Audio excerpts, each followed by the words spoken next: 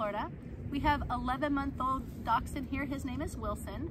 Wilson's come in to do our infamous two week board and train because he just has a little bit of shyness, reluctance to um, new people as well as um, certain situations. So check back with us in two weeks, see how he does. Thanks. Wilson, come. Wilson, come. Come on. Come on, Wilson. Wilson, place. Oh, that's a good boy. Sit. Good. Down.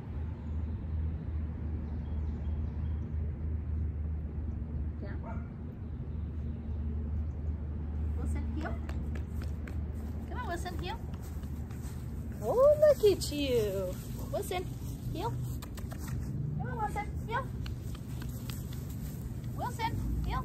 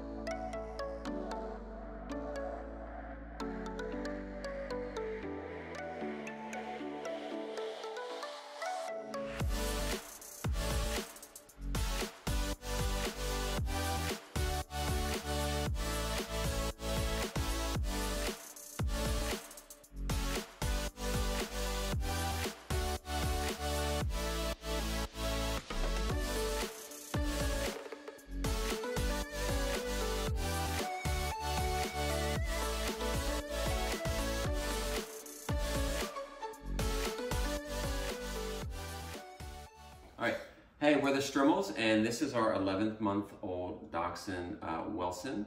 And prior to doing uh, board and train, uh, Wilson, though he was a good boy, he had some issues with jumping on people, especially little kids, jumping on the counter when we were doing his food, attacking his food before we could even put it down. And we were really scared that, you know, we opened the door, he was gonna run out into the street, and all those things you would expect from, a, from an energetic puppy. Um, but now, after two weeks uh, with uh, off-leash training and working with an amazing trainer, Sarah, um, it's incredible. He will, and, and he's a hound too, so he didn't always walk, wasn't always the best walker, but now uh, with his with his heel command, he'll walk with us uh, throughout the neighborhood. Um, he will sit. We actually just had somebody knock up and drop off a package, and he sat there in his place and stayed in his command. And my favorite, we I, when I fed him, he stayed in his down position and was a good boy and waited until I gave him his break command before he even went near his food. So it was an incredible turnaround. And again, I have to credit that to Sarah, uh, our trainer. She was amazing, and we would totally recommend um, canine off-leash training for anybody. Don't worry about it, regardless of the size of your dog, right, or what you what you think they're capable of. Um, it's amazing what, what you can turn. We want to enjoy this little guy for a long time, and I think this is going to help.